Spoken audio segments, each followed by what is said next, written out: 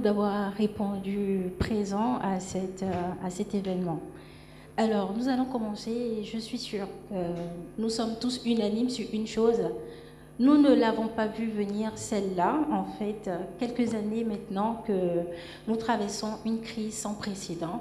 La pandémie de la Covid-19 a changé nos vies comme jamais nous l'aurions imaginé et porte également un coup très dur sur certains secteurs que sont le commerce transfrontalier, en soulevant certaines inquiétudes que sont le, le défi sur le financement du commerce, la lourdeur des procédures douanières, la fermeture des frontières et la difficulté des PME face à cette situation. Cette euh, souffrance est également partagée par l'économie mondiale. Mais Fort heureusement, au milieu de tout ce drame, la Covid-19 est quand même parvenue à révéler au monde l'importance de l'accord sur la facilitation des échanges qui semble être, à mon avis, aujourd'hui, par beaucoup de spécialistes, considéré comme une piste très importante pour la reprise rapide et efficace de l'économie mondiale. Et sur ce panel, justement, nous avons un expert de la transformation digitale, un spécialiste du développement de logiciels, M. Tankian Koulibaly. Ma première question s'adresse à vous. Comment comprendre aujourd'hui la facilitation des échanges? Merci, euh, Madame Seka. Euh, alors, euh, quand on parle d'échange, on parle de flux, on parle de flux de marchandises pour le cas précis du commerce extérieur. Alors, flux de marchandises, flux de capitaux, euh, tout cela est exercé par des acteurs. Des acteurs qui euh, utilisent euh, différentes méthodes, différents outils et qui sont confrontés à, différents problèmes. Alors, la facilitation ici va venir, elle va venir fluidifier tous ces flux, tous ces tous ces échanges d'informations, de données, elle va venir euh, rassurer les acteurs, elle va venir euh, euh, finalement, je vais dire, simplifier. simplifier. toutes ces procédures et elle va venir garantir les recettes des différents acteurs. Alors, cette facilitation se fait à travers différents moyens, notamment la mise en place de, de plateformes qui sera à disposition de tous ces acteurs pour garantir euh, leurs revenus, garantir la satisfaction de leurs efforts. Merci. Merci, Monsieur Tankian. En effet, depuis 2016, le gouvernement du Bénin, à travers sa douane, n'a cessé de se révéler dans la sous-région et à l'international. Déjà en 2016, nous notions une avancée conséquente dans le rapport Doing Business 2016 établi par la Banque mondiale où le Bénin a gagné 8 places.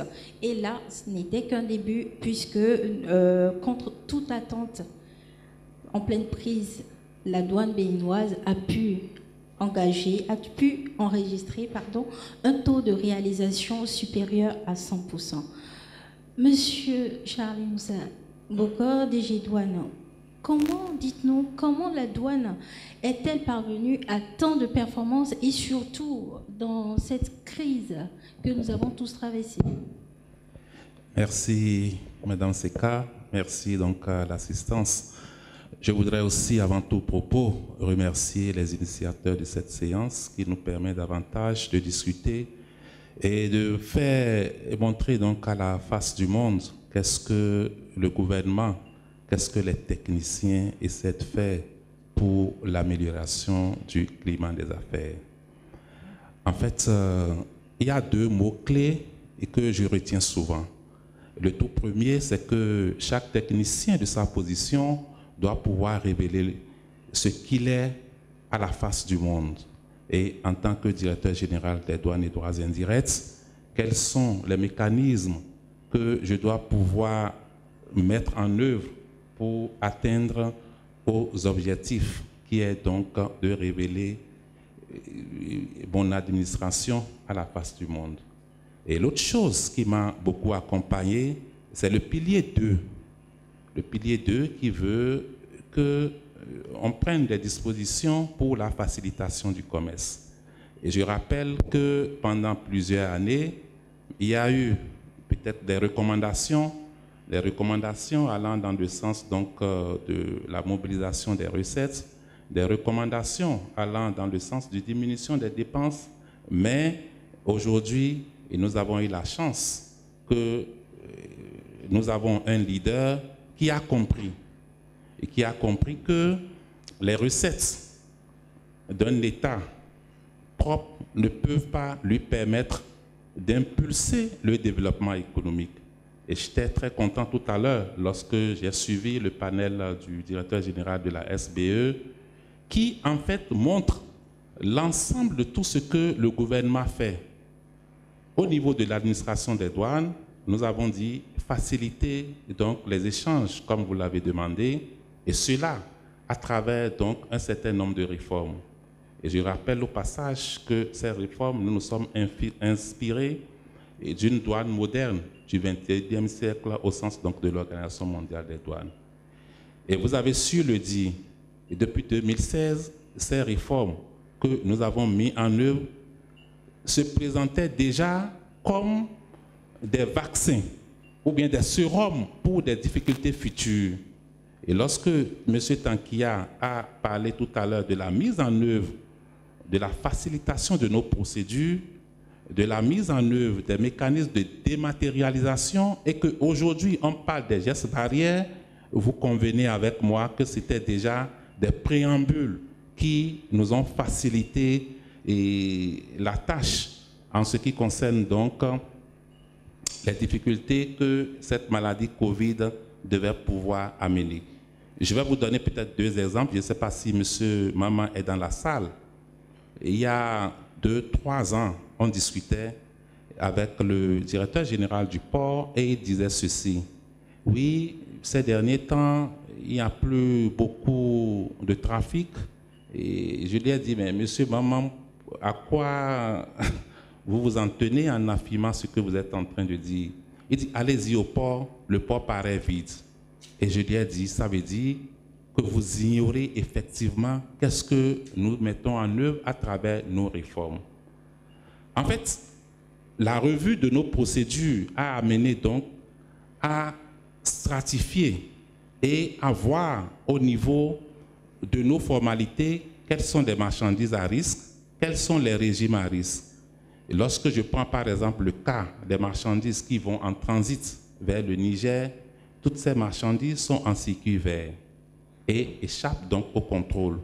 Et vous convenez avec moi, s'il y a 1000 déclarations que peut-être 10 inspecteurs devaient liquider en une journée et qu'aujourd'hui, au lieu que ces déclarations soient vérifiées de façon physique, toutes ces déclarations passent en circuit vert et que c'est peut-être les quelques-unes qui sont peut-être pour des régimes de mise à la consommation au niveau de la recette des douanes Cotonou-Port ça peut paraître comme être vide alors que tout marche normalement. Et la conséquence, c'est que nous avons augmenté une augmentation du flux international. Donc, une augmentation du débarquement des marchandises et naturellement qui a pour corollaire d'améliorer le niveau de nos recettes. Je voudrais me résumer en disant que, effectivement, ces réformes qui sont de plusieurs ordres, peut-être que le DG Béné contrôle tout à l'heure va aborder quelques-unes, nous ont permis non seulement de fluidifier le trafic, aussi d'apporter une transparence. Vous savez, il y a peut-être 5 ans, 10 ans, il n'est pas rare d'entendre certains transitaires dire, parce que euh, peut-être il est saccard comme le DG, j'ai la main. J'ai la main, ça regroupe beaucoup d'autres choses. Aujourd'hui, nous avons fait l'effort pour que, à travers nos réformes, à travers la détermination de la valeur transactionnelle qui est recommandée depuis longtemps par l'organisation du commerce, j'allais dire, que tous les opérateurs soient donc fixés à un même enseigne. Et cela permet à ces opérateurs qui sont encore vertueux d'exercer en toute quiétude. Je ne voudrais pas être trop long pour une première intervention. Et je pense que par la suite, nous aurons le temps de discuter, encore que cette discussion ne doit pas s'arrêter dans cette salle, c'est peut-être un préambule. On aura le temps d'en continuer. Merci. Effectivement. DG Douane, toujours dans cette même lancée, pouvez-vous nous dire en fait quelle est la place, quel, quel rôle en fait a joué, quelle, quelle, a été l'importance, je dirais, du guichet unique du commerce extérieur du Bénin dans toutes ces performances que vous avez engrangées? Oui, merci beaucoup. En fait, euh, le guichet unique, euh, je prends un ou deux exemples. Vous savez, entre-temps, et pour payer peut-être une déclaration, il fallait faire une longue file, d'abord au niveau des caisses et des, bureaux des douanes. Alors aujourd'hui, avec la mise en place du guichet unique, par exemple, vous pouvez faire des paiements en ligne. Ça nous permet de lutter contre les gestes barrières et ça offre aussi d'autres sécurités parce qu'en temps trimballer 500 millions dans des sacs, vous convenez avec moi que ce n'est pas chose facile. Mieux, plusieurs directions techniques avaient l'habitude de délivrer des autorisations pour certaines marchandises. Je vous rassure que toutes ces autorisations sont aujourd'hui émises en ligne et qui parlent donc des émissions d'autorisation en ligne défient donc, comment appelle-t-on, ce contact qui générait non seulement la corruption, mais aussi des pertes de temps. Donc voilà quelques exemples qui illustrent très bien comment la dématérialisation, le guichet unique a contribué à l'amélioration des affaires dans notre environnement. Merci, merci beaucoup DG Douane. Vos réponses nous ramènent à la simplification des procédures douanières pour l'amélioration des recettes de l'État. La crise sanitaire liée à la COVID-19 a également permis de relever, de révéler à travers le monde la lourdeur de, de certaines procédures, en particulier pour les PME à savoir les contrôles à l'import et à l'export, l'exigence documentaire pour l'importation et l'exportation, quels sont les moyens déployés chacune de vos, dans chacune de vos institutions, en fait, pour permettre au Bénin d'y faire face? J'aimerais commencer cette fois-ci par le directeur général de Bénin Contrôle. Merci beaucoup. Bonjour à tous. Euh, je vais peut-être d'abord préciser le, le, rôle et la mission de Bénin Contrôle. Nous avons, nous poursuivons quatre objectifs. Le premier est de sécuriser les recettes douanières. Le deuxième est de renforcer les compétences de l'administration des douanes. Le troisième est de lutter contre la fraude et l'insécurité. Et le quatrième, et c'est là peut-être le plus important, c'est de euh, fluidifier et faciliter les procédures d'enlèvement. Et ces objectifs-là euh, sont inscrits dans le marbre et euh, tous les services que nous déployons à l'attention des usagers et de l'administration des douanes tous ces services poursuivent ces mêmes objectifs. la facilitation, la fluidification des opérations, elle, démarre forcément par la dématérialisation.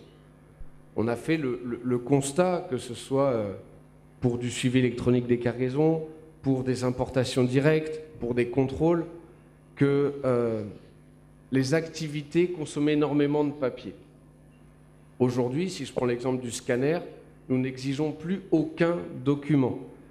Nous sommes interfacés avec le système douanier Sidonia, nous sommes interfacés avec le guichet unique GUS, nous sommes interfacés avec le Ségub. Et lorsque vous voulez, euh, lorsque vous devez subir une inspection, vous nous envoyez un mail, nous allons chercher toutes les informations dans ces différents systèmes.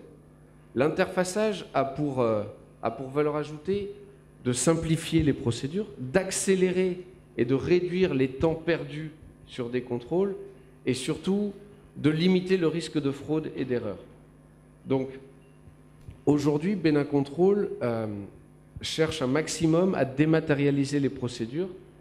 Pour ça, nous avons mis des, KPI, c'est un terme barbare qui signifie euh, des indicateurs de performance. Et donc, nous publions ces indicateurs de performance sur notre site, sur le site de la douane, et nous cherchons avec les opérateurs économiques qui sont nos partenaires à progresser Où est-ce que nous pouvons gagner du temps? Où est-ce que nous pouvons réduire les tracasseries? Où est-ce que nous pouvons simplifier la vie des usagers? Et ça, c'est réellement quelque chose qui nous, qui nous drive et nous motive au quotidien. Merci beaucoup, DG. Justement, parlant de contrôle de valeur, géolocalisation des camions, une autre belle performance est à retenir dans le cadre, cette fois-ci, de la lutte contre la fraude et le trafic illicite de certains médicaments. Le Bénin est passé de la 13e place à la deuxième place au monde, juste après le Pérou, sur 144 pays classés, devenant ainsi le premier en Afrique et deuxième au plan mondial. DG, quel est votre secret? Quel a été votre secret? Oui, merci. Je l'ai dit, en fait, euh, c'est le leadership et puis dans notre environnement, je ne l'ai pas évoqué tantôt, et nous sommes certifiés aujourd'hui, et la certification signifie donc une amélioration continue de nos performances. Et nous avons pu bénéficier aussi de plusieurs formations, et de la part non seulement du, de l'État central, et de l'Organisation mondiale des douanes et du Fonds monétaire. Et aujourd'hui, vous constatez avec moi, la douane est en train de se révéler, comme vous l'avez dit. Et deuxième, peut-être euh, sur le plan mondial par rapport à la lutte des fraudes, mais bientôt premier. Et ça, c'est le challenge. Et dans notre environnement, un peu plus tôt, vous avez dit au niveau du, du business, on avait pu améliorer, mais je vous rappelle aussi que le Bénin, au niveau de la de l'UMOA détient la première place en ce qui concerne la facilitation et même au niveau de la CDAO, cette euh, affirmation a été faite euh, face donc à tous les chefs d'État. Et je, je, rappelle que c'est, disons, la manière dont la douane est gouvernée, les contrats de performance. Aujourd'hui, il faut réfléchir quels sont les mécanismes de gouvernance qui ont pu apporter des réussites au niveau du privé et que nous avons peut-être pu transposer. Et voyez-vous, aujourd'hui, tous les décès sont là. Je donne un simple exemple. Lorsqu'on a fait un courrier à un décès, il est tenu de traiter ce courrier en peut-être 15 minutes.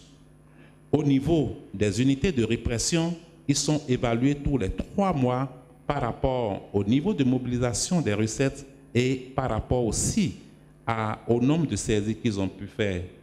Et devant tout le monde, devant tous les collègues, vous imaginez avec moi que personne ne veut être dernier. Alors, cette concurrence que notre mécanisme de gouvernance a pu susciter a quand même révélé ses performances à la face non seulement de l'Afrique, mais aussi au niveau international. Merci DG.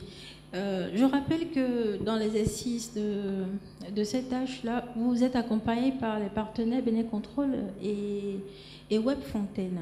WebFontaine, expert en solutions douanières, quelles sont les solutions que vous pensez, euh, les solutions douanières pensées par WebFontaine pour soutenir justement les, les gouvernements dans dans, la lutte contre la fraude, c'est-à-dire comment identifier les opérateurs économiques euh, de confiance, des, sujets à, à, caution Merci, merci. C'est euh, parlant d'opérateurs de, confiance, parlant d'opérateurs économiques agréés, effectivement, euh, ben, Fontaine euh, accompagne la douane dans la mise en place de, ce programme très très ambitieux qui est un peu rare d'ailleurs en Afrique et consiste à accorder certaines facilités à des opérateurs qui se sont illustrés, qui ont fait la demande euh, pour appartenir à ce groupe très restreint d'opérateurs économiques agréés.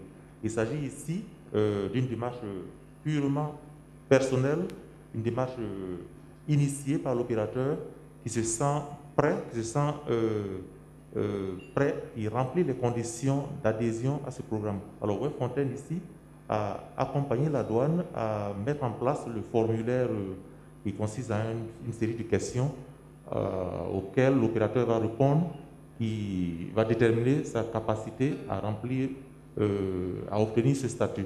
Alors, Fontaine a élaboré ce formulaire en partenariat avec la douane. Fontaine a également formé la douane euh, dans l'audit de ces opérateurs économiques agréés au cas où ils auront eu ce statut. Ce n'est pas un statut qui est coulé dans du marbre, c'est un statut qu'il faut maintenir. À un moment donné, si vous ne remplissez plus les conditions, alors la douane est en droit de vous retirer ce statut. Donc, Web Fontaine a participé à, délivrer plusieurs formations aux douaniers dans le sens de la mise en place de ce programme des opérateurs économiques agréés. En plus de ça, Fontaine aussi a accompagné la douane. Euh, vous m'entendez? Euh, Fontaine a accompagné la douane à la mise en place aussi des crédits d'enlèvement. Il s'agit ici euh, d'une facilité accordée à un opérateur, une facilité ponctuelle, un opérateur qui garantit sa capacité à, payer les droits et taxes pour une importation donnée. Et alors, Fontaine a, accompagné la douane à configurer euh, euh, leur outil, Sidonia, à gérer cette option de, de crédit d'enlèvement. Merci. Merci. Cette question aussi, je l'adresse à, la douane et à Bénécontrôle. Merci Seka. Je voudrais avant tout propos remercier, comme vous l'avez dit, mes partenaires Bénécontrôle et Webfontaine. Et dit, lorsque je prends ma posture de chercheur avec euh, une démarche euh, interprétative, je voudrais rassurer de ce que, effectivement, le modèle de partenariat public-privé qui a donc euh, l'administration des douanes Webfontaine et puis Béné Control est la meilleure que j'ai pu quand même lire. Et que ce soit dans notre environnement et même lors des études, les quelques articles que j'ai pu lire à travers le monde. Cela étant, je voudrais revenir un peu sur effectivement la notion de opérateur économique agréé. Je rappelle d'abord que dans notre sous-région, en Afrique de l'Ouest, le Bénin est le pilier et le tout premier d'ailleurs à pouvoir mettre en place euh, cette facilité. Et puisque c'est de facilitation que nous parlons, en fait, nous avons réfléchi et Bénin Control nous a accompagnés dans cette démarche. Cette démarche a commencé par révéler. Il y a par exemple des sociétés qui, telles que je crois la Sobebra, qui est une société sur place qui produit des boissons. Et voyez-vous, avec ce statut d'opérateur économique agréé, la Sobebra a la possibilité d'éviter à 100% les frais de gardiennage et de surestarie. Lorsque nous disons que nous sommes en train d'améliorer notre environnement pour appeler les investisseurs à venir investir, nous sommes tenus et obligés de leur régler toutes les difficultés parce que, comme on le dit, les études au niveau de l'Organisation mondiale des douanes ont prouvé que lorsqu'une marchandise séjourne 24 heures en plus dans un port, elle renchérit le coût de ces marchandises-là de 10 francs à l'unité. Alors, quoi de plus beau accompagner ces industries que nous voulons attirer, surtout que tout à l'heure, je vous ai parlé de notre proximité avec le Nigeria, où plusieurs entreprises ont la capacité de s'installer ici, de bénéficier donc d'un certain nombre d'avantages et de faire des productions avec le régime communautaire pour réexporter ensuite ces marchandises vers le Nigeria et d'autres horizons. Donc voilà ce que j'avais voulu compléter par rapport aux interventions donc, de M. Tankia. Merci. Merci. DG Bénécontrôle, je suis sûre qu'à votre niveau, euh, vous avez développé quelques solutions qui permettent en fait à la douane d'identifier les opérateurs économiques de confiance et les sujets à caution. Vous voulez nous en parler? Tout à fait. Euh, aujourd'hui, ce qui, aujourd'hui, ce que l'État recherche avant tout, c'est que les acteurs économiques créent de la valeur crée de la richesse. Lorsque quelqu'un, il ne crée pas de valeur.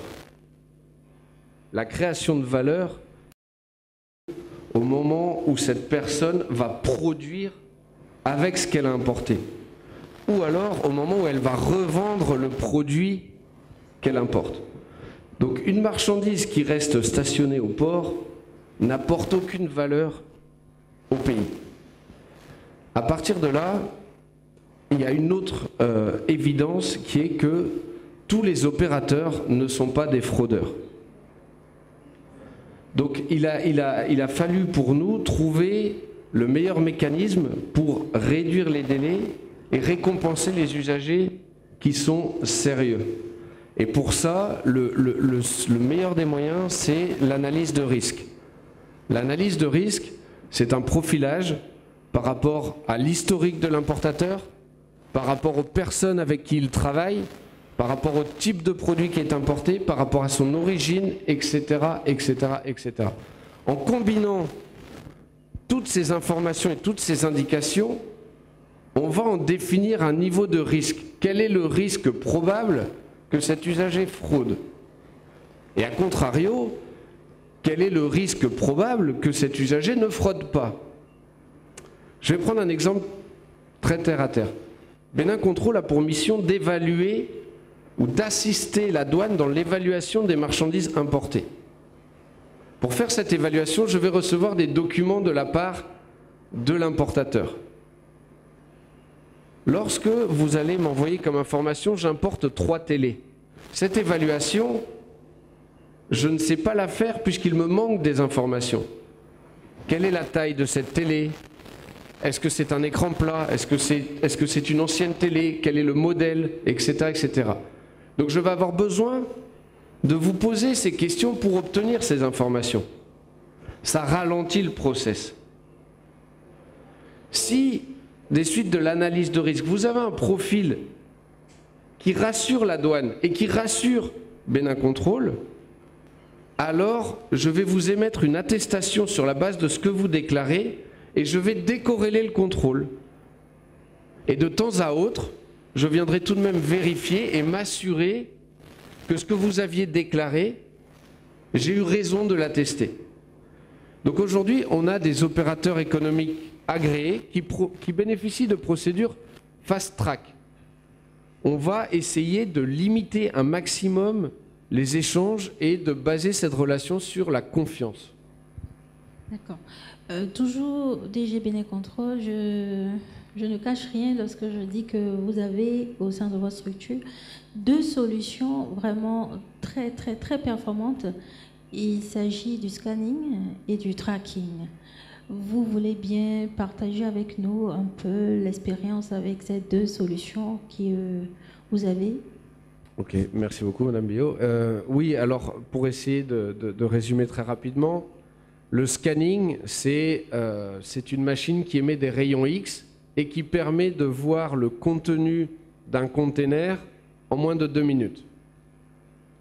Euh, je parlais d'analyse de risque. Une fois qu'on a ciblé un container, la douane doit l'inspecter. Par le passé, la douane allait cibler un container, on allait devoir le vider pour voir si tout ce qui est à l'intérieur a bien été déclaré. Vider un container, ça prend du temps. Ça va bloquer un douanier sur une inspection pendant peut-être une journée. Ça va coûter à l'opérateur puisqu'il faut des manœuvres pour décharger, des manœuvres pour remplir. Ça va prendre aussi du temps puisqu'il faut déposer le conteneur. Il y a des risques de, de casse, il y a des risques de vol. C'est extrêmement contraignant. Aujourd'hui, avec la douane, nous avons mis en place des scanners à rayon X qui nous permettent d'avoir un aperçu du contenu en moins de deux minutes. Ça nous permet de cibler plus et ça permet surtout à la douane de dire très bien, par rapport à l'image que j'ai, vous pouvez y aller. Ou au contraire, là j'ai un doute, je vais vous dépoter. Et du coup, on facilite les procédures d'enlèvement une fois de plus, on fluidifie la sortie du port et surtout on augmente le taux de succès puisque les containers qu'on inspecte, généralement, effectivement, apportent des droits compromis et des contentieux. Donc ça, c'est au niveau du, scanner. Et au niveau du tracking, c'est un petit peu la même, chose. Par le passé, lorsque vous mettez une marchandise en consommation au Bénin, vous payez des droits et taxes. Si par contre vous dites à l'administration, j'emmène cette marchandise dans un autre pays, mettons le Niger ou le Burkina, je ne fais que traverser le pays, vous ne payez pas de droits et taxes. Maintenant, des, opérateurs peu scrupuleux peuvent se dire, très bien, je vais annoncer à la douane que je vais traverser le pays et quelques kilomètres plus loin, je déverserai ma marchandise sur les marchés. Par le passé, la douane, pour s'assurer que cette marchandise quitte bien le pays, organisait des escortes. L'escorte, c'est pareil, ça consomme énormément d'hommes. Si vous voulez mettre un homme dans chaque camion, le, Bénin fait à peu près, euh, on va dire, 10 000 camions par mois vers le nord. 10 000 camions, ça fait 300 camions par jour. Le voyage prend plusieurs jours. Vous imaginez le nombre d'hommes qu'il faut Alors la douane avait organisé une escorte. Cette escorte, l'objectif c'était de dire, ok, à partir du moment où j'ai un certain nombre de camions, je ferai un convoi. Mais là, c'est pareil, lorsque le convoi part, déjà, quand vous êtes le premier camion, il faut attendre qu'il y ait suffisamment de camions. Puis lorsque vous prenez la route, il suffit qu'un tombe en panne, qu'un veuille s'arrêter. C'est contraignant, c'est très très contraignant. Donc aujourd'hui, ce que nous avons fait avec, l'administration et la douane, et euh, avec notre partenaire aussi Webfontaine, c'est que nous avons mis en place le suivi électronique des cargaisons. Dès que vous annoncez et vous déclarez dans le système douanier que votre marchandise est en transit pour le Niger, dans les cinq minutes qui suivent, nous vous affectons une balise GPS que nous sommes prêts à aller poser sur votre camion. Une fois cette balise posée, vous prenez la route immédiatement. Vous n'avez plus besoin de personne. Notre balise GPS, c'est un tracker. Il va nous informer en temps réel du comportement du chauffeur. Derrière, on a défini des règles. Donc, si vous allez au Niger, vous devez sortir par Malanville. Vous devez prendre via Dassa, puis Parakou. Si, en sortant du port, vous prenez direction Porto Novo ou direction Comé, on va avoir une alerte. Si vous vous arrêtez à un endroit sur la route et que vous n'avez pas le droit de vous arrêter dans cette zone-là, on va également avoir une alerte. Si vous tentez d'enlever le tracker GPS, on va aussi avoir une alerte. Et donc nous avons une salle de contrôle qui tourne 24 heures sur 24 avec des agents euh, de Bénin Contrôle mais également de la douane et nous suivons en temps réel toutes les alertes. Ces alertes, lorsqu'elles sont émises, nous permettent de contacter nos collègues de la douane qui sont sur le terrain, les services d'intervention rapide, et ceux-ci se dépêchent auprès du camion pour contrôler s'il y a tentative d'infraction ou non. Voilà euh, Madame Bios, ce que nous avons mis en place, entre autres, pour euh, l'administration. Merci beaucoup. Je pense que la solution du tracking et du scanning euh, semble très important. Alors, je vais laisser dire quelques mots le directeur général de la douane et ensuite euh, Monsieur Tankian Koulibaly à ce sujet. Merci beaucoup. En fait, il faut peut-être avoir vécu l'expérience du passé pour se rendre compte de ce que aujourd'hui est bien. Il a évoqué les avantages liés donc au scanning et au-delà, il y a aussi le caractère dissuasif peut-être qu'il faut évoquer. Et si aujourd'hui la douane a pu réaliser ces belles perspectives, c'est aussi ça. Parce que ça ne veut pas dire forcément qu'entre-temps, toutes ces fautes que nous arrêtons au niveau du port ne passaient pas. Mais nous avons pu mettre en œuvre des moyens adéquats qui nous permettent donc d'intercepter ces fraudes et peut-être de dissuader ceux-là encore qui pensent que notre pays peut servir donc de plateforme à certains produits illicites. Abordant la question liée au tracking, il a évoqué le cas des tracking cargaison. Et si peut-être les transporteurs sont encore dans cette salle, ils vont vous dire tout le cauchemar qu'ils avaient parce que parfois, il arrivait des moments où peut-être des balles de tissu ou des bidons d'huile sont soutirés de ces camions et une fois les camions du côté du Niger vers Gaïa, c'est des affaires contentieuses, c'est les juges, c'est des avocats qui bloquent ces camions parfois, qui les vendent aux enchères publiques. Je pense qu'aujourd'hui, c'est chose réglée. Et l'autre chose, nous avons dit que nous voulons améliorer le climat des affaires dans notre pays et faire de notre pays le hub de la sous-région. Et c'est justement l'ensemble de ces mécanismes mis en œuvre qui ont permis aussi d'accroître de façon exponentielle ces marchandises qui quittent notre pays pour aller en transit vers le Niger. Donc voilà les quelques compléments que j'ai voulu faire et je vous remercie. Alors, je pense que le DG Bénin Contrôle et le DG Douane, ils ont largement euh, parlé du tracking, du scanning. Euh, c'est tout complet. Je vais juste ajouter que à chaque fois que, parlant du, du, euh, les transporteurs, ils essaient de, de, battre le système, ils essaient de contourner le système. Donc, à chaque fois qu'ils trouvent un stratagème pour le contourner, eh bien, nous aussi, nous renforçons notre, notre mécanisme pour euh, nous assurer qu'ils ne peuvent pas le contourner. C'est un peu comme euh, les virus, les antivirus. À chaque fois qu'on arrive à contrôler un antivirus, alors le fabricant il, essaie il sert davantage son virus pour euh, éviter qu'on le batte. C'est la même chose ici au tracking. Donc nous sommes en amélioration continue tout le temps. Merci. Nous avons eu la chance d'avoir le fabricant avec nous et nous sommes rassurés que de belles solutions sont en train d'être mises en place pour tout le temps contrecarrer ces, ces sujets à caution. Voilà. Tournons-nous maintenant vers l'avenir. Nous avons, vous avez en fait, à travers la plateforme du GUS, déjà dématérialisé les procédures au niveau du port, de dédouanement au port et à la frontière. Moi, j'aimerais vous demander une chose. Si nous considérons que c'est toujours la même marchandise qui voyage et qui pourrait avoir la même valeur, ne pourrait-on pas saisir une fois pour toutes les éléments objectifs de la transaction à un corridor et les utiliser tout au long de la chaîne de transport? Autrement dit, est-ce que le modèle de pré-dédouanement à distance peut-elle être envisageable? Cette question, je la pose à, à, Digidouane et à Wafontaine. Merci beaucoup. En fait, euh, ça fait partie déjà de nos perspectives il y a une semaine, j'ai eu une séance avec le Fonds monétaire international qui a accepté de financer ce projet. C'est-à-dire, une fois la marchandise euh, achetée, peut-être que ce soit les produits destinés à d'autres industries, les matières premières, j'allais dire, ou les produits finis, qu'on puisse suivre donc l'évolution à chaque étape, non seulement du transport de ces marchandises, du lieu d'exportation et aussi des procédures de dédouanement à l'intérieur jusqu'à la livraison de ces marchandises. En fait, c'est ça notre objectif. Et mieux, je pense qu'on a eu à écrire des notes de service allant dans le sens des déclarations anticipées. Je pense que c'est la même chose.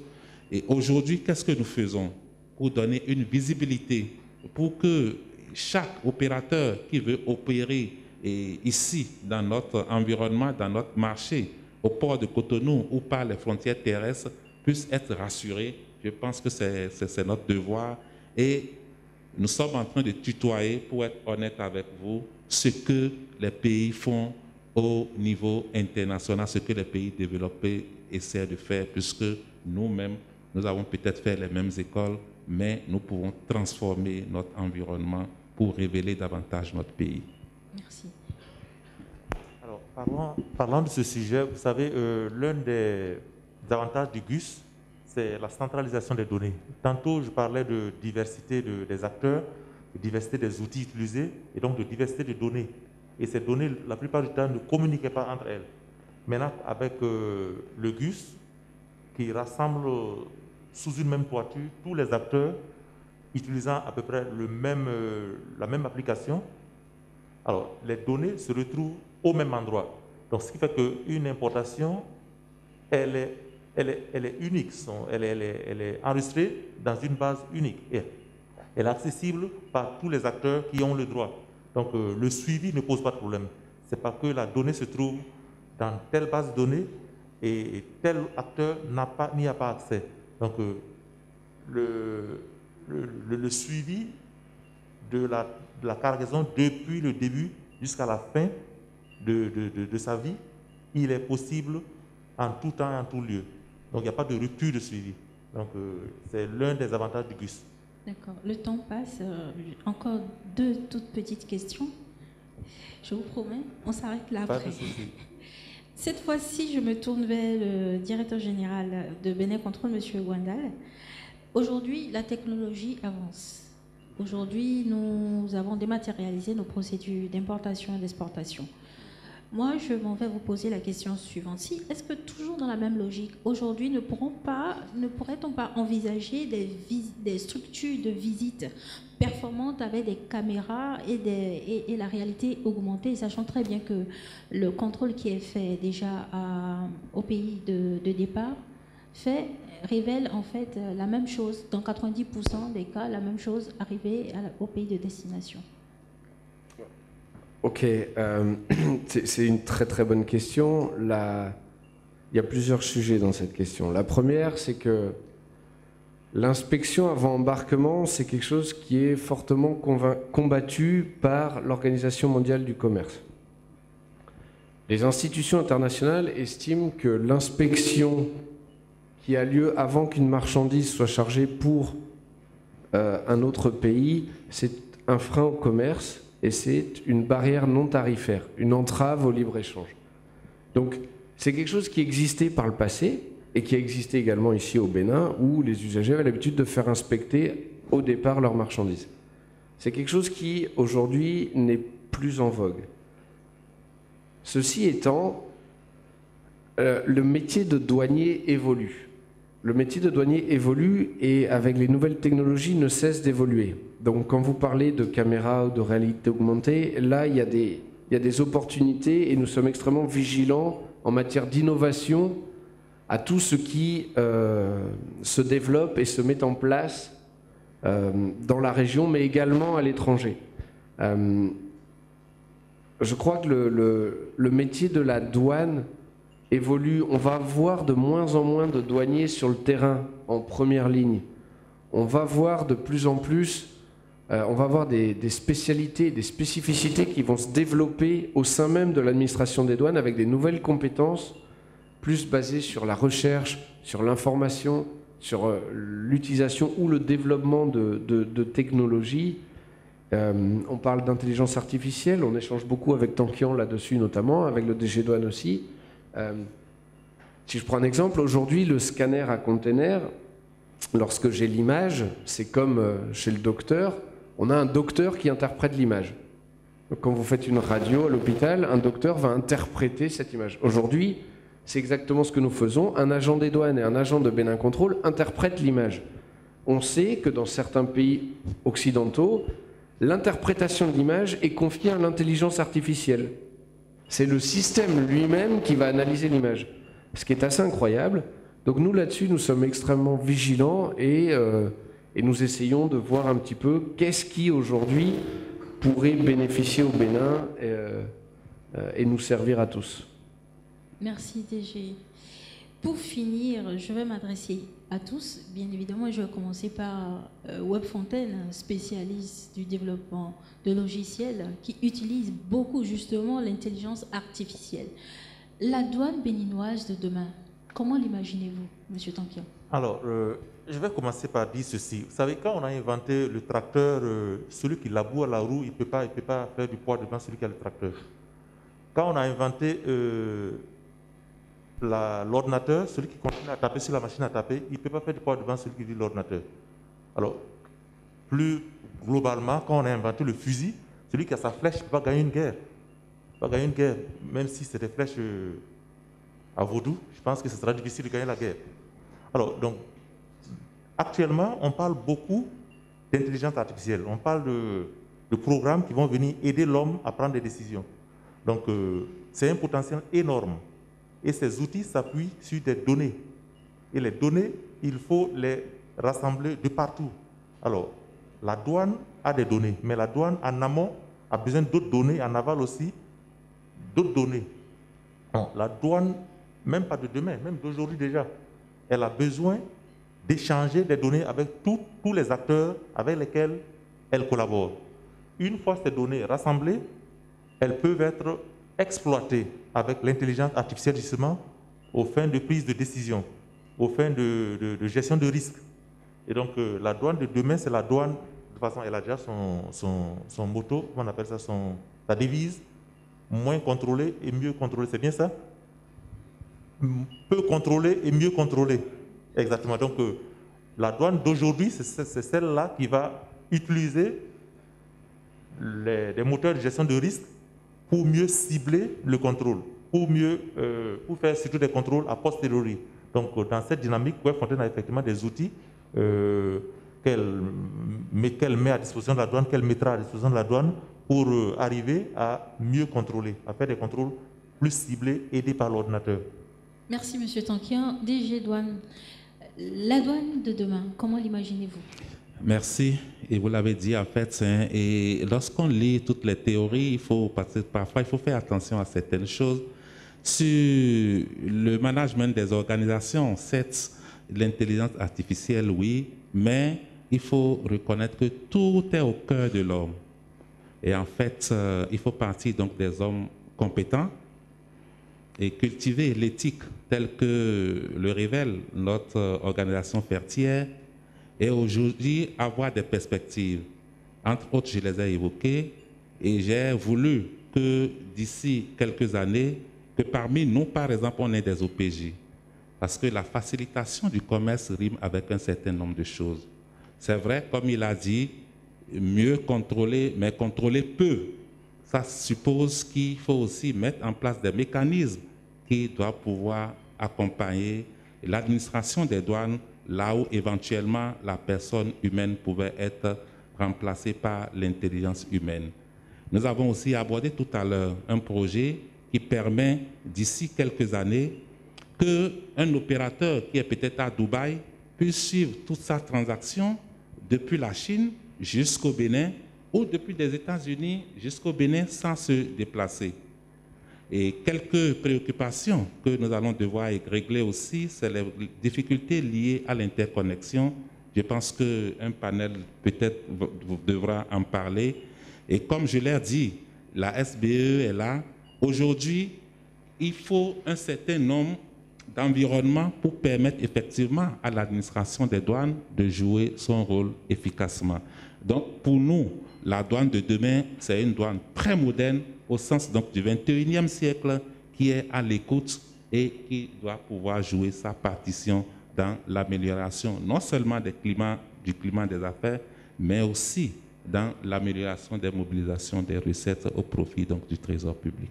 Merci, merci beaucoup, DG. Mais cette fois-ci, Monsieur Wendal, la douane de demain, comment l'imaginez-vous? Chez Béné Contrôle euh, bah, Écoutez, euh, j'en ai touché deux mots juste avant, mais je, vais reprendre un peu ce qu'a dit le DG Douane et, ce qu'a dit euh, euh M. Tankian. Le, métier de la douane évolue, mais l'homme reste au cœur, c'est ce que dit le DG, l'homme reste au cœur de l'administration douanière. C'est, moi je la vois, on avait l'habitude de voir des douaniers sur toutes les frontières en première ligne, ce qu'on appelle la première ligne, à ouvrir vos sacs, vos véhicules. Demain, on, va se retrouver avec une douane beaucoup moins visible, beaucoup moins présente, mais qui travaillera beaucoup plus sur de la donnée pour aller chercher des informations, où est-ce que la fraude se trouve, où est-ce que le risque se trouve, où est-ce que euh, je dois aller euh, mettre mes contrôles? Moi, je vois vraiment la douane, et, euh, et, la douane béninoise est déjà engagée dans cette démarche, puisque le DG l'a dit, la douane béninoise est certifiée ISO 9001. Il faut se rappeler que cette certification vise avant tout la satisfaction des usagers. Et, euh, pendant longtemps, la douane a couru après un seul objectif au Bénin, excusez-moi de le dire, mais euh, je pense que la douane a toujours couru derrière cet objectif de recette. Aujourd'hui, en étant certifié ISO 9001, la douane affiche d'autres objectifs. Les recettes sont importantes, mais il y a d'autres objectifs. La satisfaction des usagers, les temps de passage, la réduction des délais, la réduction des tracasseries, l'amélioration du système. Donc, moi, je vois vraiment une douane partenaire, partenaire des opérateurs économiques, partenaire des sociétés, partenaire des usagers. C'est vraiment, c'est vraiment comme ça que je vois la douane d'aujourd'hui et de demain. Merci une fois à mes chers panélistes. Je suis sûre que Pamela, j'ai épuisé tout le temps qui m'est imparti. Mais voilà, je, je, vous, je vous laisse la parole. Merci beaucoup, Madame Secavio, pour la modération de ce panel de haut vol. Merci à vous, chers panélistes. C'est le moment, mesdames et messieurs, chers participants, chers invités, de poser des questions. Et comme tout à l'heure, on ne prendra que deux participants, un dans cette congé et un dans l'autre. Une question par participant, s'il vous plaît. Alors bonjour, et mon nom est Muriel Maillot euh, de Clean2Be. Alors aujourd'hui, on, sortirait de ce panel en se disant qu'on aura demain une douane qui, va certes maintenir l'homme au cœur de tout ce qu'elle fait, mais qui va s'appuyer vraiment sur l'intelligence artificielle et qui demeurera à l'écoute euh, de la population qu'elle sert. Moi, ma question se porte sur la formation au niveau de la douane aujourd'hui. Euh, on sait comment avant euh, les choses se passaient et au jour d'aujourd'hui, il y a quand même de la réticence au niveau de, la jeunesse à se dire je veux devenir encore douanier. Quelle est aujourd'hui la stratégie que la douane et même que Bénin Control euh, a décidé de mettre en place en fait, pour attirer davantage de jeunes en fait, dans le secteur de la douane, mais en même temps dans le secteur informatique, mais vraiment beaucoup plus basé sur la douane? C'est ma question. Merci. Deuxième question. Euh, moi, c'est Bernardin Anator. Je suis rédacteur en chef de Cadreco, le média qui couvre le monde des affaires au Bénin. Alors, je remercie tous les panélistes pour leurs échanges et les interventions très fructueuses.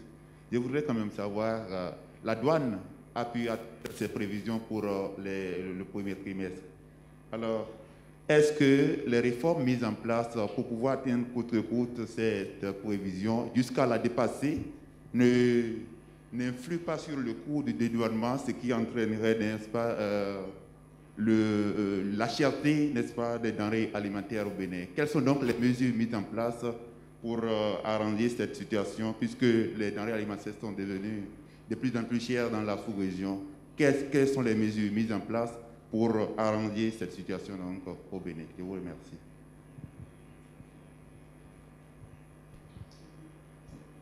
Merci beaucoup. Je vais laisser la parole au directeur général de la douane pour la première question.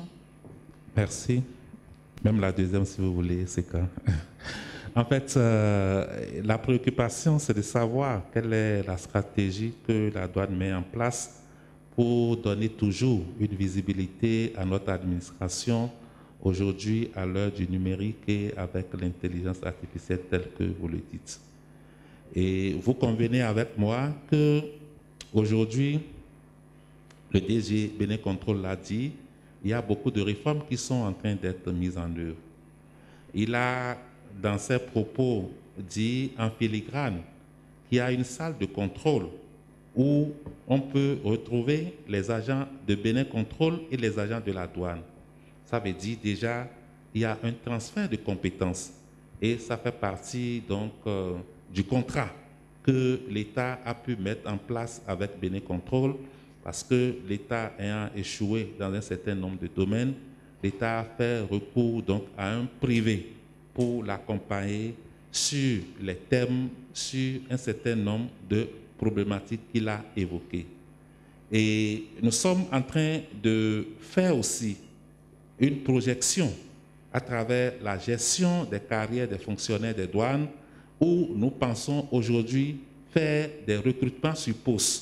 C'est-à-dire, nous évoluons quelles sont les nouvelles technologies que nous avons en face qui devaient pouvoir nous permettre d'avancer? Et lorsque le besoin se fait ressentir, nous avons la possibilité, je pense que la loi est votée, de faire des recrutements sur postes qui vont permettre quand même d'embraser l'ensemble des préoccupations et des difficultés des opérateurs en vue d'être toujours à leur écoute et, comme l'indique notre certificat, jouer notre partition d'amélioration continue des préoccupations et des besoins de nos usagers. Pour la deuxième question, c'est bon ou bien je m'arrête? Non, toujours, toujours. Ok, très bien. La deuxième, c'était donc euh, celle de savoir qu'est-ce que le, la douane ou le gouvernement fait pour amortir un peu les difficultés liées au renchérissement du coût donc, des produits, des denrées alimentaires. Je pense que c'est parce qu'on ne communique pas beaucoup. Et il y a peut-être deux, trois semaines, on était dans une séance avec l'ensemble des diasporas et j'ai évoqué, au titre de l'année 2020, il y a sur et justement ces denrées que nous consommons en grande masse, une réduction systématique dans la machine des frais de dédouanement allant de 20 et même parfois à 30-40%. Et ça, c'est pour atténuer l'effet, l'effet donc de Covid et l'effet d'autres choses. N'oublions pas qu'avec Covid, il y a beaucoup de navires qui ont peut-être stationné, les usines de production ont parfois fermé Et naturellement, la loi de l'offre et de la demande, lorsque l'offre n'atteint plus la quantité demandée au niveau international, vous convenez avec moi que ces denrées pourraient être un peu plus chères. Et c'est justement ce qui a justifié le fait que nous ayons fait ces réductions qui sont allées au-delà de 8 milliards. Et peut-être on n'a pas communiqué, mais c'est des réalités. Et je profite en même temps pour répondre à ceux-là qui disent que le gouvernement ne fait pas du social. Le gouvernement fait du social, mais ne le fait pas au cas par cas. Parce que lorsque je prends par exemple un produit alimentaire, je n'ai pas besoin de savoir quel est le X ou le Y qui a importé la marchandise, mais au niveau du tarif douanier, c'est-à-dire un document douanier qui permet de répertorier tous les produits qui font l'objet de transactions internationales. Chaque produit donc a un numéro. Qu'est-ce que nous faisons? Nous faisons des réunions et à chaque fois que nous estimons que ce produit est susceptible de bénéficier donc d'une réduction pour accompagner la population, nous implémentons directement. Mieux, il y a un autre comité qui existe, qu'on appelle comité valeur, où toutes les semaines, les agents de douane, les agents de Bénin Contrôle et d'autres structures se retrouvent pour discuter de ces questions, toujours allant dans le sens de facilité. Et au-delà aussi de ce comité, il y a le comité de conciliation qui regroupe au-delà des agents permanents de l'État, les opérateurs économiques aussi, la CCIB, où des discussions claires et nettes sont faites pour donc, discuter de la valeur des marchandises qui font l'objet de dédouanement et qui ont peut-être fait l'objet d'une discussion ou bien d'une contestation. Merci, DG Douane. Nous voici alors euh, au terme de nos échanges fort intéressants. Une chose est certaine, l'équipe euh, douane, Bénin Contrôle, Web Fontaine est une équipe qui marche. Parce que je ne sais pas si c'est un oubli, mais ça n'arrive pas très souvent, hein, DG. Vous rappelez toujours que la douane béninoise aujourd'hui est un modèle qui rayonne sur, dans la sous-région. Pour preuve, vous aviez déjà reçu plus de six délégations internationales qui sont venues s'imprégner en fait du modèle qui est, qui est implémenté au, Bénin. Alors, notre, euh, notre panel tire déjà à sa fin. BIF 2021, Bénin, terre de vos projets. Alors, je vous laisserai conclure en quelques mots sur cette question. Que diriez-vous à un investisseur qui hésite encore à investir au Bénin? DJ Douane. Merci beaucoup. Vous l'avez dit tout à l'heure, et ils n'ont plus de raison à hésiter. Ils n'ont plus du tout de raison à hésiter. La douane est à leur disposition et justement, et nous avons notre site web qui est là, bien fourni. Nous avons un numéro vert, le 91 13 13 13, où quand les opérateurs appellent lorsque je suis libre, je suis le premier à décrocher pour vous écouter. Et je voudrais vous dire, tel que vous l'avez dit effectivement, dans notre environnement en Afrique de l'Ouest, nous avons eu la visite de nos frères du Niger, du Nigeria, de l'Afrique centrale. Nous avons eu la visite du Congo et même de l'Afrique méditerranée, nous avons eu la visite de nos frères de la République islamique de la Mauritanie. Je vais aller plus loin. Au moment où le port voulait s'installer, nous avons eu des séances et nous avons sollicité les douanes belges pour venir nous accompagner. Et quelques mois après, j'étais allé à l'Organisation mondiale des douanes. Je suis allé à notre école de formation où j'ai eu la chance de rencontrer quelques formateurs qui m'ont formé. Et nous avons fait une discussion et j'ai posé la doléance. Deux semaines après, ils ont envoyé une délégation composée de deux personnes où nous avons eu des discussions. Mais la séance euh, de, synthèse, à la séance de synthèse, ils ont dit, DG Douane, dans certains aspects, vous êtes parfois plus en avance que les douanes belges. Donc, je voudrais qu'on se réjouisse de ce que nous faisons, mais puisque nous sommes certifiés et que nous sommes dans un environnement où nous devons aller toujours dans une amélioration continue et la satisfaction continue donc de nos usagers, je pense que vos préoccupations seront toujours les bienvenues pour améliorer davantage ce que ces services que nous vous octroyons. Je vous remercie. Merci. DG Bénin Contrôle, que diriez-vous à un investisseur qui hésite encore à investir au Bénin? Eh ben, le, DG l'a dit, je ne sais pas s'ils hésitent encore, mais euh, moi j'inviterai très sérieusement les, investisseurs à considérer le Bénin et à venir y faire un tour. Euh, je crois que les, arguments ne, ne, manquent pas. On a beaucoup parlé des procédures d'importation, mais, euh, mais au-delà de ça, je crois qu'il y, y, a une tendance aujourd'hui au Bénin où tout le monde vise la même direction on a un projet avec un plan directeur et euh, on le constate au quotidien. Les infrastructures se créent, se développent, on a de la croissance, malgré, il faut le rappeler, euh, un contexte extrêmement défavorable, notamment en fonction de cette, crise sanitaire.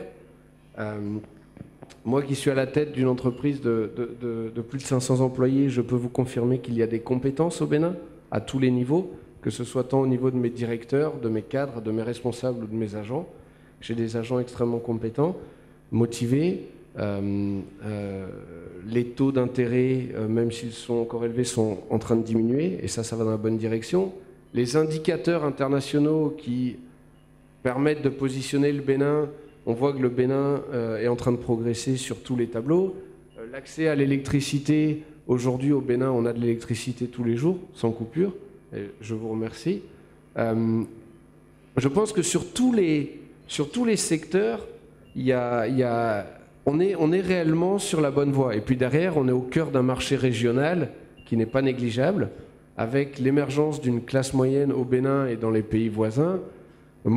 Et puis les retours sur investissement sont intéressants. Moi, sincèrement, je, je, je recommanderais en tout cas à tout investisseur de considérer le Bénin dans, dans ses réflexions. Ça, c'est une évidence.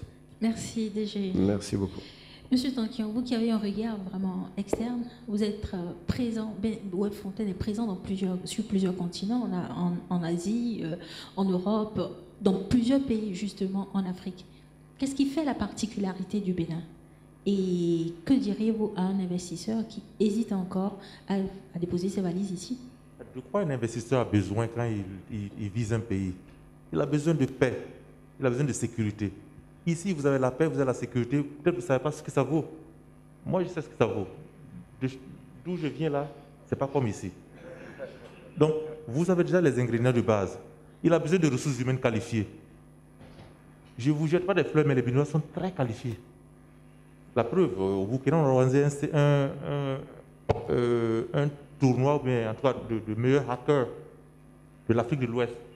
Et dites-vous, c'est les Béninois qui sont passés les premiers, les meilleurs hackers. Mais ça ne pas dire c'est un mal. Ça peut y avoir des hackers éthiques. Donc, on a des ressources humaines ici qualifiées. L'investisseur a besoin de prévisibilité. Quand il va dans un pays, il a besoin de savoir que son modèle peut être appliqué. Il ne veut pas un changement brusque, que ce soit politique ou social, il ne veut pas ça. Donc ici, il y a cette, euh, il y a cette paix, il y a cette prévisibilité, et donc, tout est réuni pour que les gens viennent ici. Le marché aussi, il est énorme. Regardez juste à côté. Un marché infini. Donc, l'investisseur, il n'a aucune raison. Si vous taper investir au Bénin, il, a l'embarras du choix. Donc, je ne crois pas que les investisseurs aient encore des doutes sur euh, le succès de leur projet ici au Bénin. C'est un pays à découvrir. Merci, Tankian. Voilà, nous avons fini. Je remercie les promoteurs du BIF. Et pour en savoir davantage sur le commerce extérieur du Bénin, n'hésitez pas à vous rapprocher de Webfontaine, de, la douane de Bénin Contrôle, mais également à vous abonner à nos différents comptes sociaux, notamment le guichet unique du commerce extérieur présent sur Facebook et sur LinkedIn. Sur ce, je vous souhaite une très belle journée et à très bientôt.